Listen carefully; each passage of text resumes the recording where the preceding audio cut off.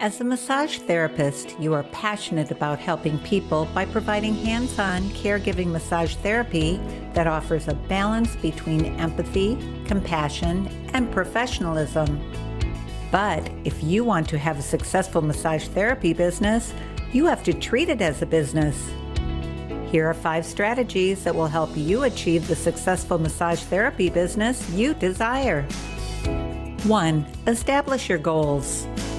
Set some goals for your massage therapy business. This also includes writing down your income goals for the next 6 to 12 months and the actions you need to take to get there. 2. Know the target audience you want to help. With thousands of massage therapists as competition, you must brainstorm what makes you different and unique. Defining your specialties will help you to better market to your right fit massage therapy clients. Three, market your massage therapy business. Successful massage therapists are consistently marketing their business to the right people.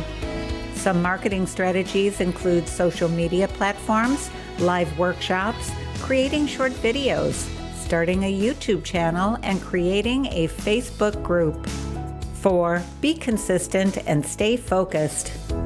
Building a successful massage therapy business takes time, focus, and consistency. It will probably take at least a year to see growth in your business, so be patient. 5. Set a budget. It is inevitable that you will have to spend some money to build your massage therapy business. A great start is building a website and or landing page to market yourself and your massage business. Of course, having comprehensive liability insurance for massage therapy also guarantees a level of confidence and is a best business practice. The American Massage Council, AMC, offers the most affordable and reliable professional liability insurance for massage therapy coverage and more. Professional liability insurance for massage therapy with American Massage Council offers peace of mind that you will be protected in your day to day massage practice so you can do what you love helping others. At the American Massage Council, we believe the more we help you, the more you will help others.